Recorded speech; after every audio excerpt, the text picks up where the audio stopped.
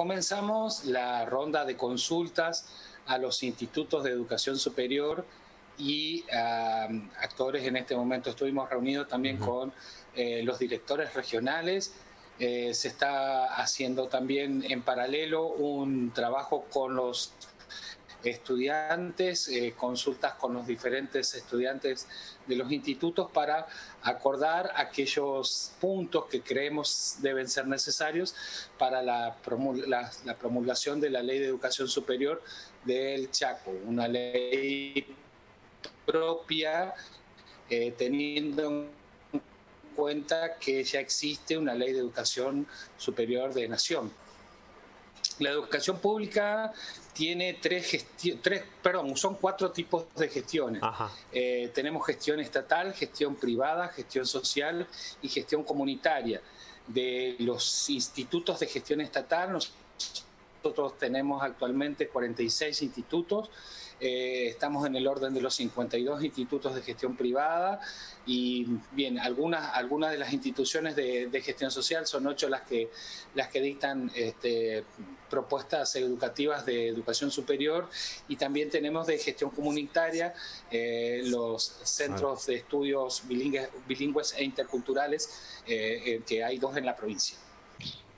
Sí, en realidad nuestra, nuestra educación superior tiene particularidades como nivel educativo que por ahí no son compatibles estrictamente con los otros niveles, los niveles obligatorios. Claro. Eh, es por eso que una ley de educación superior lo que viene a hacer es a intentar regular, por un lado, y eh, brindar los espacios necesarios para que se pueda jerarquizar esta, este nivel. Por ejemplo, nosotros, eh, por estatuto del docente, tenemos tres funciones que cumplir pero para cumplir esas diferentes funciones necesitamos tener los, eh, los, las figuras legales adecuadas, por ejemplo, para eh, realizar las tareas de capacitación o las tareas de investigación educativa.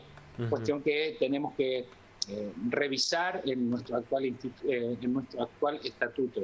Pero así también queremos avanzar en una ley que fundamente la autonomía de las instituciones, la, la democratización interna de las instituciones y a su vez establecer un marco regulatorio para que permita que dentro de esa autonomía se pueda articular con el Ministerio de Educación y con el gobierno de la provincia en una planificación estratégica de todo aquello que tenga que ver con los tipos de formación, los tipos de carreras que hay que, que, hay que brindar, entendiendo que van a estar siempre ligadas a una, eh, a una necesidad, una demanda eh, estratégica de la provincia. Entonces, en ese sentido es brindarle un marco regulatorio que observe estas cuestiones que están eh, en este momento muy en el aire desde el punto de vista de lo legal. Pero fundamentalmente, el primer punto que establece la ley es la garantía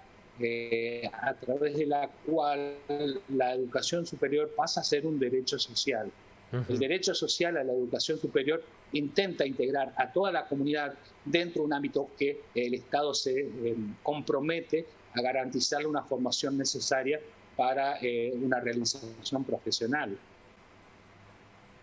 nosotros todavía no hemos recibido todos los aportes que se están realizando. Recién hemos terminado anoche eh, las jornadas que se hicieron en los institutos de gestión estatal, pero eh, en las primeras consideraciones hemos tenido una diversidad de, miradas, eh, miradas que apuntan a enriquecer una propuesta. les recordamos a todos que nosotros enviamos a cada institución un, un documento base que su intención era abrir la discusión, no cerrarla, eh, y en base a eso, precisamente, estamos obteniendo miradas este, muy, muy heterogéneas, puntos de acuerdo e inclusive algunos, eh, algunos puntos nuevos de los que nosotros habíamos previsto. Nosotros habíamos enviado una base de 12 puntos a, discutir, pero ya creemos que eh, ese número nos quedó muy corto.